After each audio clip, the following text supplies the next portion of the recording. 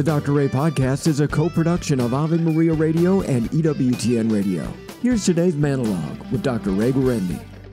You heard people say that they have a lot of questions they want to ask God if they get to heaven. Why this? Why that? Things they want to understand that they simply cannot understand now because they're so limited in the way that our brain works. We're just incredibly limited. We don't have infinite minds.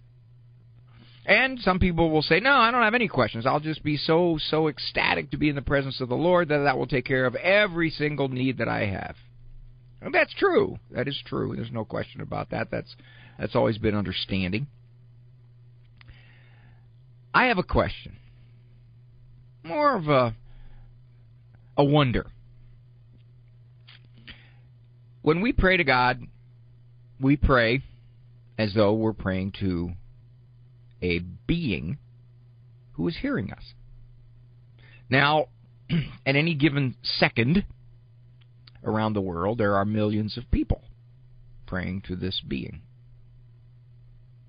And the church teaches that God can take into account the factors involved in someone being the way they are. Church says uh, the blameworthiness of someone's conduct is known only to God. So he weighs everything. He weighs everything perfectly. The kid who is raised without a dad and, and with a mom who is a drug addict and who by age 14 gets involved in the streets and meets a very quick end at age 17 who never paid attention to God, who never even thought about God, who never even knew about God, who never even was exposed in any serious way to belief, God takes that into account. He's not going to judge Ray Guarendi the same way he judges that young man. All right, here's my question. I want to know, well, like like it's my right to know, but if possible, I would like to know. God, how do you do that? How is it? Now, I know, I know, I know, I know people are going to say he's infinite. Infinite can do anything. Yeah, I know that. That's that's the that's the generic answer. He's infinite. But I want to know exactly how that infinity plays out. How is it? I guess this would be my question. God,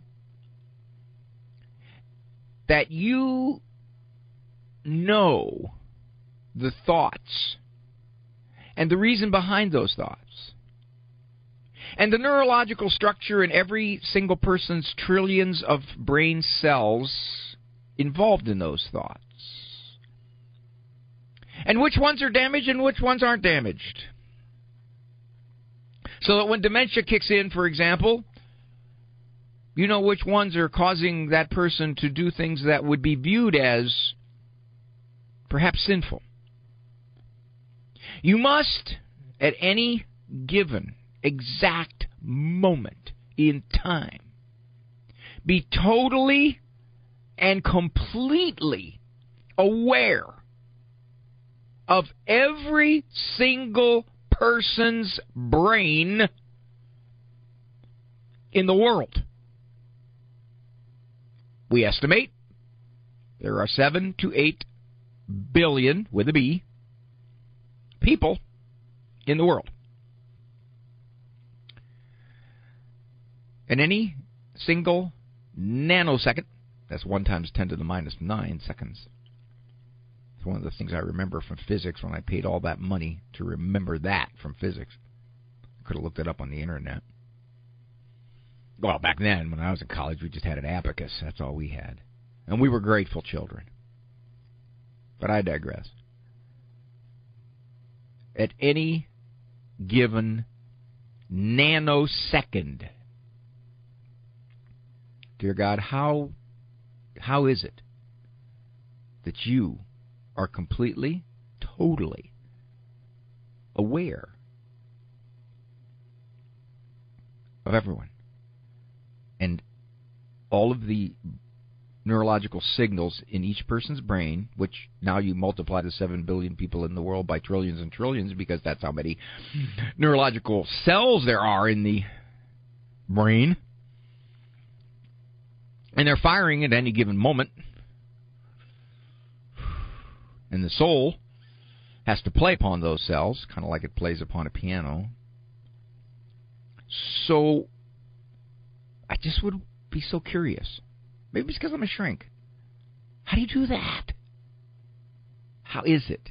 Now, God may look at me and just simply say, Raymond, it's sufficient for you to know I'm infinite, and that's the answer you're going to get.